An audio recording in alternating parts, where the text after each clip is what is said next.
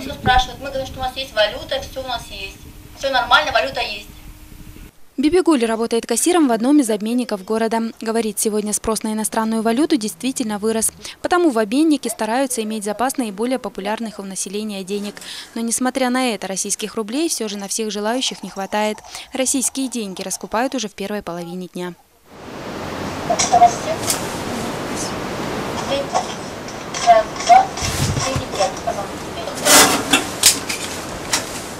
Анастасия Белобородова такому положению дел рада. Говорит, сейчас появилась возможность помогать родственникам чаще. У нее в России живет брат, которому Анастасия регулярно отправляет денежные переводы. Для нее стоимость рубля очень привлекательна. Ну, летом он стоил 5, грубо говоря, сейчас он стоит 3. Конечно, нам выгоднее поменять свои деньги, отправить им как помощь, потому что мы можем и валюту сейчас у нас также, она намного дешевле, выгоднее, они там получат по своему курсу намного выгоднее деньгами. Профессор и доктор экономических наук Валерий Бирюков не скрывает, свои деньги он привык держать только в национальной валюте. Так он советует поступать и другим. Говорит, только тогда можно удержать национальную валюту на плаву. Если сегодня все кинутся покупать доллары, значит доллары автоматически в цене будут расти, тенге автоматически в цене будет падать. У нас существует валютный курс, у нас существуют рекомендации правления Национального банка, по которому курс тенге может колебаться в пределах 2-3 тенге.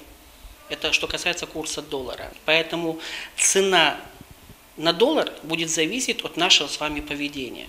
Специалист уверен, положительно на экономике нашего государства не скажутся и покупки казахстанцев за рубежом.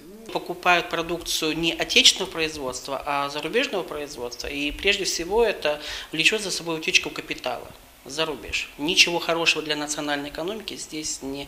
Понимаете, даже вы когда доллары покупаете, вы тем самым работаете на американскую экономику.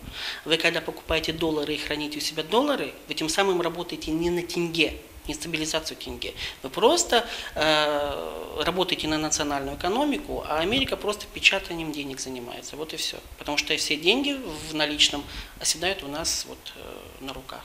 Несмотря на высокий спрос, сегодня в городе дефицита какой-либо валюты в обменных пунктах не наблюдается. Есть и доллары, и евро, и российские рубли. Специалисты заверяют, процесс девальвации тенге сегодня Казахстану не грозит. Но спровоцировать его могут рядовые горожане, если начнут массово скупать валюту других стран.